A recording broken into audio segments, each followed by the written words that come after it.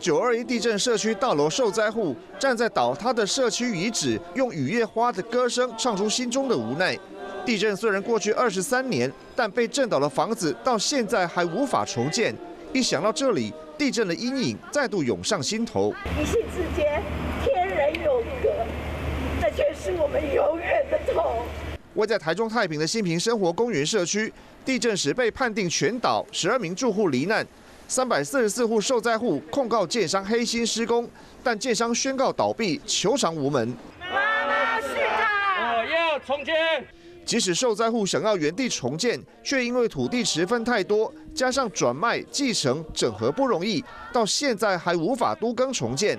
他们希望政府出面早日解决。否则，随着时间拖久，会更难处理。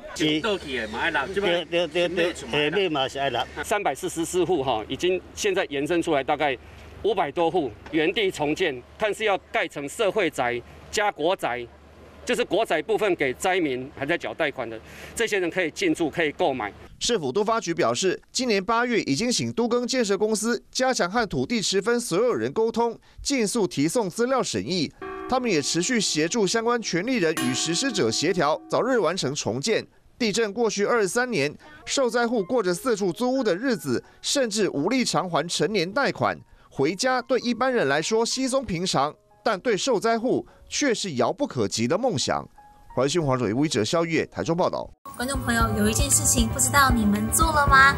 那就是赶快来订阅我们的 C H 五十二华视的频道，而且记得哦，一定要帮我们分享、按赞，还要开启小铃铛。